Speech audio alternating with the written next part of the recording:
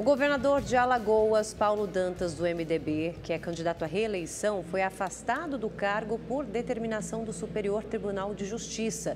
Ele é alvo da Operação Edema da Polícia Federal e do Ministério Público Federal. Um suposto desvio de cerca de 54 milhões de reais dos cofres públicos é investigado. A repórter Caroline Fernandes tem as informações ao vivo. Boa noite, Caroline. Boa noite, Lacombe, Érica, a todos que acompanham o Rede TV News. Pois é, de acordo com as investigações, Paulo Dantas teria utilizado um esquema de funcionários fantasmas para desviar recursos da Assembleia Legislativa de Alagoas.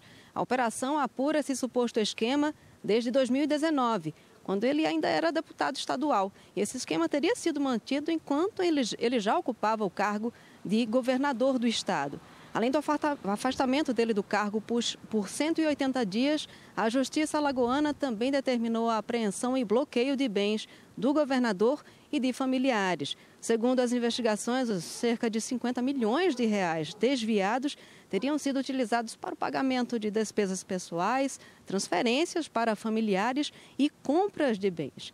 Além de Dantas, a mulher dele e a irmã também são investigadas. Foram cumpridos 31 mandados de busca e apreensão em endereços ligados a Dantas e familiares, além da Assembleia Legislativa de Alagoas e o Palácio do Governo. Foram apreendidos cerca de 100 mil reais em espécie na casa do governador, outros 150 mil reais em dinheiro na casa de um cunhado dele e outros 14 mil reais em posse do próprio Paulo Dantas, que foi localizado em um hotel em São Paulo.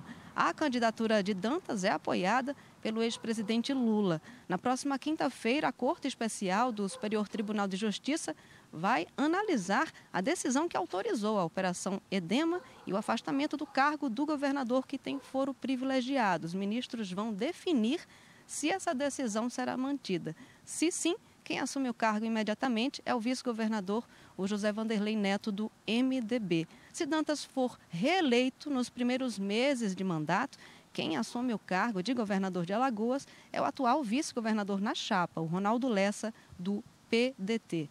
Em nota, os partidos que apoiam a candidatura de Paulo Dantas afirmaram que essa operação se trata de um atentado contra a democracia e uma suposta um afastamento da, dessa, da, é, desse, é, do governador para prejudicar a candidatura dele e beneficiar a candidatura adversária, a do Rodrigo Cunha, do União Brasil.